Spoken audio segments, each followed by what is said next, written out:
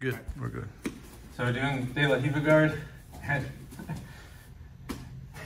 And we're going to a single leg X option from the sweep in this video.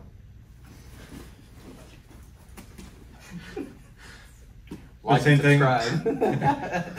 De La Riva, we're not just laying here or being static waiting for him to do something. We're staying active. Get a lot of pressure on this leg, bring it in, and when we push him out, coming up. And then once he comes back in, we're bringing him back.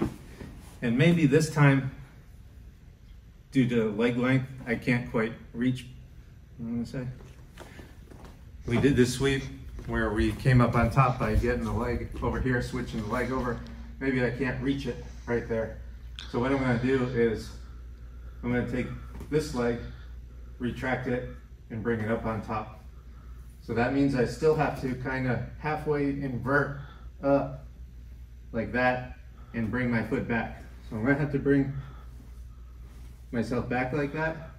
I can post here on the, on the mat or on his foot, whichever. I'm gonna retract it, bring it up, and then come up underneath.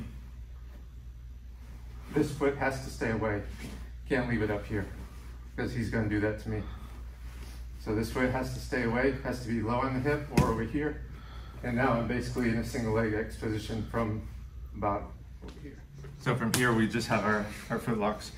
Uh, if you have to, you can take the foot on this side to get your foot out, to get a tighter bite on it, and then just finish from here.